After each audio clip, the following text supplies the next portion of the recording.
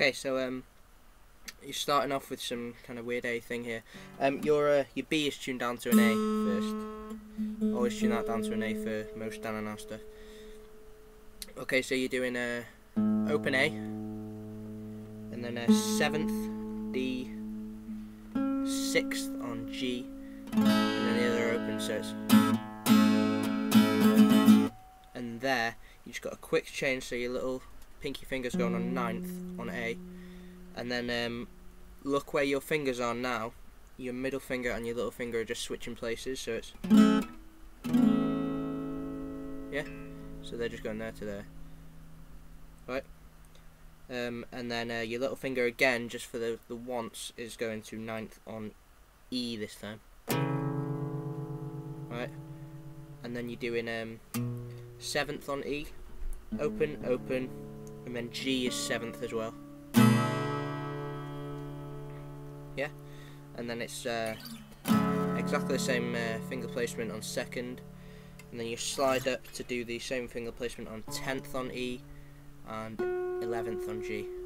So it's always E and G for them last few chords. So uh, you got that. The, just show the changes again.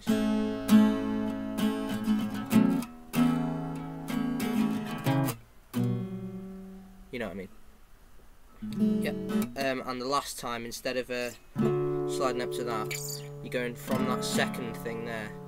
You're just going to do um, sort of that. So that's open, second, first, open, open from A. And then you can slide nicely back to that then.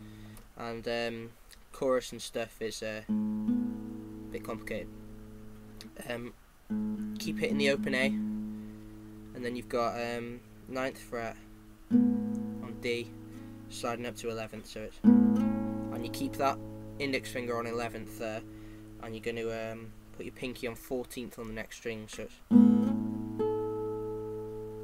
okay, and then it's, uh, pinky goes um, 14th fret on uh, D, middle finger goes uh, 12th fret on B, and then index finger is uh, 11th on G. I hope you're getting this. So it's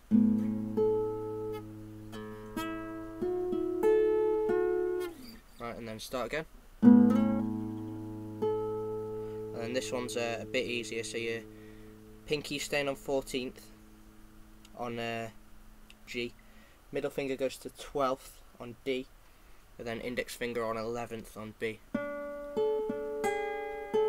And then you do that. The last one again. And then here you go in, um, so do the slide.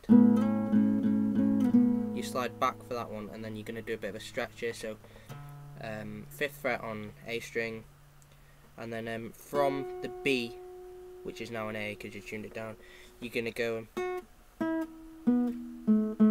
so ninth on B, ninth on G, ninth on D, and then you slide down to fifth on the uh, D. But you're going to be hitting most of the strings when you're doing this, so